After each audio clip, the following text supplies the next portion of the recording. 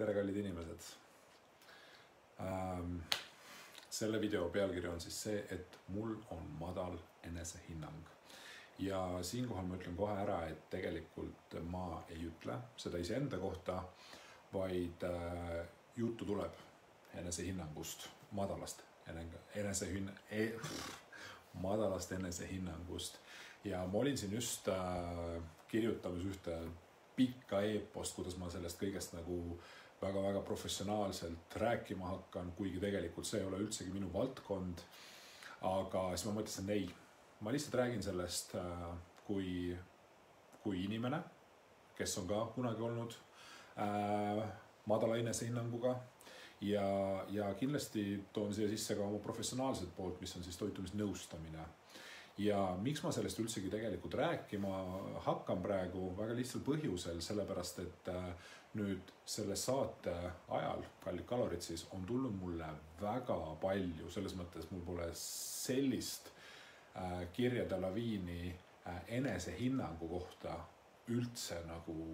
kunagi sellist laviini lihtsalt pole olnudki. Mitte ühegi teise saate ega ka muu seonduva olukorraga, mis iganes aja ma siin Eestis olen olnud ja ma kahtlustan, et, ähm, et need kirjad tulevad siis jah, saate pärast. ja need kirjad tulevad enamasti nooremapoolsetelt äh, inimestelt, nii poistelt kui ka tüdrukutelt ja kui ma ütlen nooremapoolsed, siis ma ütleksin siin vanusevaheks kuskil kuusteist kuni kakskümmend üks. valdav enamus äh, kirju tuleb siis nii noortelt inimestelt ja, ja ma saan täiesti neist aru ja need kirjad, mis mulle siis tulevad, esiteks ma tahan teile, teie ees vabandada, ma panen selle video praegu siin Instagrami ka ülesse, seega kui te vaatate seda, siis, siis ma vabandan teie eest, et ma ei ole teile vastanud, sest neid kirju on kümneid, neid on tõesti väga palju ja erinevad mured on neil, mis siis nii-öelda nende arvates seda madalat enesehinnangut äh, põhjustavad, aga tegelikult see pole üldsegi niimoodi. ja madal enesehinnang ei pruugi üldsegi olla ainult noorel inimesel. see madal enesehinnang võib olla ka tegelikult vanematel inimestel, ka minu vanustel, mina olen siis kolmkümmend kaheksa, võib-olla kolmekümne kahe aastasel ja võib ka viiekümne aastasel olla madal enesehinnang. aga need madala enesehinnangu põhjused on väga tihti hoopis kusagil mujal, kuigi jah, kui keha on vormist väljas, siis see on ka tegelikult üks madala enesehinnangu äh, põhjustajaid nii et äh, selles videos ma lihtsalt tahaksin anda siis pigem just nagu noortele, aga miks mitte ka vanematele inimestele informatsiooni siis madala enesehinnangu põhjuste, äh, tegelike põhjuste kui ka lahenduste kohta. Ja siinkohal ma ei ole selle valdkonna ekspert üldse, üldse, küll aga ma olen väga palju sellega kokku puutunud ja ma nä olen näinud, kuidas inimesed ei saa aru, kust see tuleb. Ja kui me oleme nii-öelda need kaardid avanud, siis ehk siis kust see madal enesehinnang tulla võib ja tulebki, siis, äh, siis tegelikult on inimesed sellest lahti saanud ja siis hakkab elu hoopis paremini minema, ütleme siis niimoodi. Ähm, ja esimene asi ongi tegelikult võib-olla see, millest ma rääkida tahaksin, et äh, kui keegi ütleb, et mul on madal enesehinnang, siis selle kohta inglise keeles on, mis võib ka eesti keeles väga vabalt olla täpselt sama asi, on siis negative self-talk ehk siis kuidas me iseendaga või kuidas me iseendast räägime. kui sa ütled enda kohta midagi sellist, mis on negatiivse alatooniga, siis see on põhimõtteliselt sama hea, nagu sa solvaksid ennast, sest kui keegi teine tuleb, ütleb sulle seda, siis sa saad kohe näidata näpuga, öelda ahah, miks sina tulid ja niimoodi mulle ütlesid, on ju.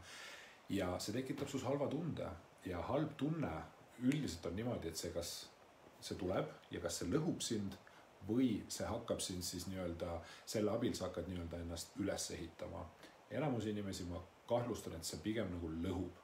Ja see iseenda kohta halvasti rääkimine on selline märkamatu ja väga paljudele tõenäoliselt ka teadmatu asi, mis tegelikult tekitab sellise konstantse halva ehk siis järjepideva halva tunde. Ja ilmselgelt sellega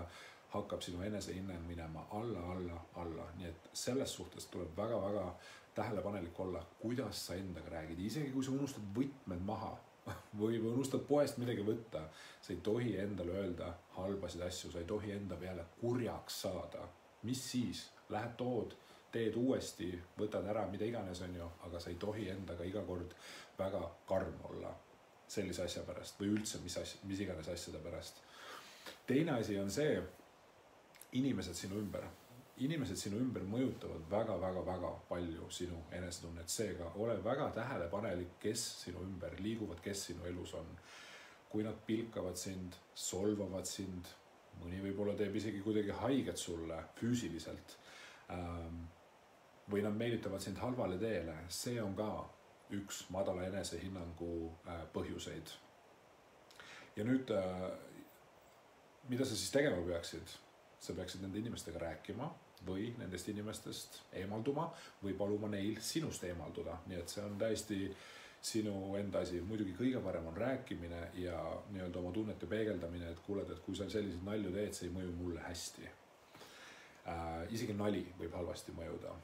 nüüd äh, kolmas asi on siis see äh,, kuidas keegi oma elu elab, ehk siis milline on tema elustiil, millised on need igapäevased, iganädalased, igakuised tegevused, mida inimene teeb. ja ma toon siin kaks näidet, näiteks mingi asja selgeks õppimine on positiivne tegevus ja mingisuguse täiesti suvalise seriaali vaatamine, no ükstapuha, mis seriaal, ma ei hakka siin mingeid seriaale välja tooma, aga ütleme, et sulle meeldib see, see ei ole tegelikult positiivne tegevus, see on tegelikult mitteproduktiivsus ja millegi ärategemine on produktiivsus. vaadake, meie aju töötab niimoodi, et kui me midagi ära teeme, siis me tunneme selle üle nii-öelda siirast rõõmu ja see kõik kasvatab meie enesekindlust, annab meile heaolutunde ja nii edasi ja nii edasi. aga praegusel ajal ma arvan, et väga paljude inimeste enesehinnang võib langeda sellepärast äh,, nooremad, vanemad, vahet pole, sellepärast et nad on suht nii-öelda vähese tegevusega, nad ei tee midagi. ja kui me lihtsalt niisama passime, mitte midagi ei tee, isegi mitte midagi lõbusat ei tee, vaid lihtsalt kuidagi oleme päeva ära siis see põhjustab meis halba enesetunnet. nii et see on äärmiselt oluline, et millele te oma aega äh, ja oma energiat pühendate. laisklemine on, nõuab aega ja energiat tegelikult ja samuti trenni tegemine, raamatu lugemine ma ei tea, mingisuguse hariva info või, või mingi kasuliku töö tegemine, see on ka energia ja ajakulu. nii et kui te teete neid asju, mis toovad teile tulemusi siis teie enesehinnang tõuseb, aga kui te teete neid asju, mis toodavad teile tagajärgi, siis jällegi enesehinnang langeb. ja nüüd siis viimane asi, mille juurde ma tahaksin tulla, on siis see, mille pärast mulle paljud noored siis äh, kirjutanud on ja nemad arvavad, et mada-, nemad konkreetselt ütlevad, et nende madala enesehinnangu põhjuseks või põhjustajaks on siis see, mil-, millised nad välja näevad. ja kui mulle keegi kirjutab sellise murega, siis ma, ja ütleb, et mul on jalad või käed või kõht või mis iganes paigast ära. ja siis ma lähen ja vaatan. Äh, kel, mõnel inimesel on profiil avatud ja mõnel ei ole. Ja, ja siis ma vaatan, millised nad on ja need inimesed jagunevad siis, need kirjutajad, madala enesehinnangu üle kaeba, kaeblejad, noh, see ei olnud halvas mõttes, jagunevad kahte erinevasse gruppi äh,. kahte, kahte gruppi, ma ei tea, mis see erinevus siin vahepeal tähtis oli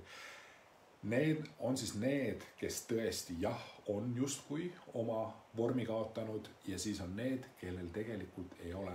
mitte midagi viga. ja nüüd teie, kellel teil pole midagi viga, te olete heas proportsioonis oma kehaga, selles mõttes, et keharasvaga, siinkohal ma räägin, et teil ei ole sõna otseses mõttes ülekaalu, ei pea olema piitspeenikesed, siis teie tegelikult peaksite tekkima te tegelema nende eelneva kolme asjaga, ehk siis vaatama üle, millised inimesed teie elus on, vaatama selle kindlasti üle, kuidas te iseendasse suhtute, kuidas te iseendaga räägite ja kuidas te paigutate ja kuhu te paigutate oma aega ja energiat, on ju. ehk siis, mida te teete oma elus. Need, kes on tegelikult heas vormis või noh, normaalses vormis, on ju, kui te hakkate ennast võrdlema mingisuguste supermodellide ja, ja mingi fitnessi poistega, on ju, siis muidugi tekib probleem, sellepärast et sinna on väga raske saada ja ausalt öeldes sinna pole mõtetki saada, kui seda tehakse ainult enesehinnangu pärast. seega teie keskenduge hoopis nendele nii-öelda psühholoogilistele äh, aspektidele. aga kui nüüd kellelgi on tõesti vorm käest ära läinud, vot siis nagu ma alguses ka ütlesin, on see tõesti üks enesehinnangu allakiskujaid ja vot siinkohal, kui probleem on see, et sul on vorm käest ära läinud, siis lahendus on see, et sa hakkad selle vormiga tegelema, on ju. ja siinkohal nooremad ja vanemad inimesed, vaadake, kui mul on mingisugune mure, olgu see IT-alane, olgu see äh, ma ei tea, seadustega seotud või olgu see, ma ei tea, kasvõi mu autoga seotud, ma ei hakka oma peaga proovima seda lahendada. ma võib-olla korraks proovin või siis kogemusest midagi tean, aga pikas perspektiivis ja kiiremas korras ma tegelikult pöördun alati spetsialisti poole. seega soovitan tegelikult teil sama teha ja osad kirjutavad mulle, kuidas nad söövad, mida nad söövad, kas muna abil võtab kaalust alla, vaadake Te ei peaks neid küsimusi küsima tegelikult praegusel hetkel, sellepärast et te üritate mõelda, mis on igati positiivne, aga mina pigem asuksin lahenduse kallale. selleks on vaja toitumine korda teha, et saada oma keha korda.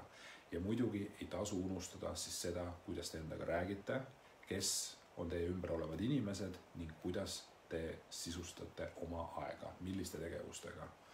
nii et need kõik asjad tegelikult, mitte ainult see, et sul ei ole kõhu, et sul ei ole six-pack'i, ei kisu sinu enesehinnangut alla, see on üks asjadest, on ju, kuigi tegelikult, mis vahet sellel on, kui sul pole seda six-pack'i. keha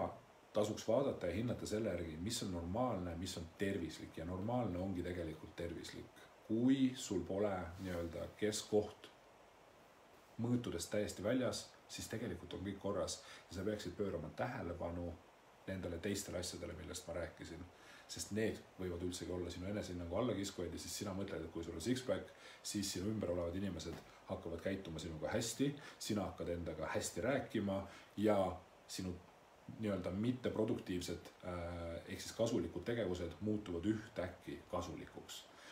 kui sa hakkad sööma tervislikult ja liigutama ennast, siis need toovad sulle selle hea enesetunde, mitte see, et sul lõpptulemusena on six-pack kõhu peal, vaid need tegevused, need on olulised, mida sa pead tegema, et siis saada endale nii-öelda kõrgem või siis kõrge või siis mitte madal, mis iganes see õige sõna on selles suhtes, ma ei tea. Et sul ei oleks ühesõnaga enam madal enesehinnang. vot need on need asjad, mis te tegema peate ja nagu ma video alguses ütlesin, siis äh, see video sai äh, tehtud suuresti noortele inimestele, kõik, kes te mulle kirjutanud olete. andke andeks, ma ei hakka teile ükshaaval vastama, vaid ma lihtsalt loodan, et te näete seda videot ja võite ka väga julgelt seda oma eakaaslastega jagada või kui te teate kedagi,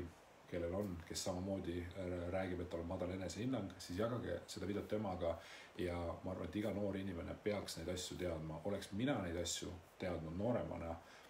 kiiremini, siis ma poleks olnud sellises olukorras, kus ma olin pikka aega madala enesehinnanguga. Äh, ja kohe, kui ma hakkasin kõiki neid asju tegema, ehk siis iseendasse positiivselt suhtuma, äh, vaatasin oma tutvusringkonna üle, on ju, vaatasin oma tegevused üle, vaatasin oma toitumise ja liikumise üle sealt punktist hakkas kõik paremaks minema, mitte niimoodi, et ma muudan ainult ühte asja, võib-olla on tõesti üks asi, võib-olla on üks vastik sõber sul ainult, kes sind kogu aeg alla kisub. siis tuleb eemalduda või siis rääkida temaga, on ju. nii et äh, loodan, et see video äh, kõnetas kõiki, kellel on siis olnud äh, probleeme või on probleem madala enesehinnanguga, et äh, mina läheneksin igal juhul ja soovitaksin läheneda asjale niimoodi ja, ja ma usun, et see aitab teid, vot. et äh, jah, rohkem ma ei oskagi midagi öelda, ma loodan, et äh, saite abi sellest ja ma loodan, et see madala enesehinnangu asi on peagi mööduv nähtus, aga selleks peab teatud tegevusi tegema, neid asju, millest ma siis siin videos rääkisin, vot. aga ilust päeva jätku teile ja kohtume juba järgmises videos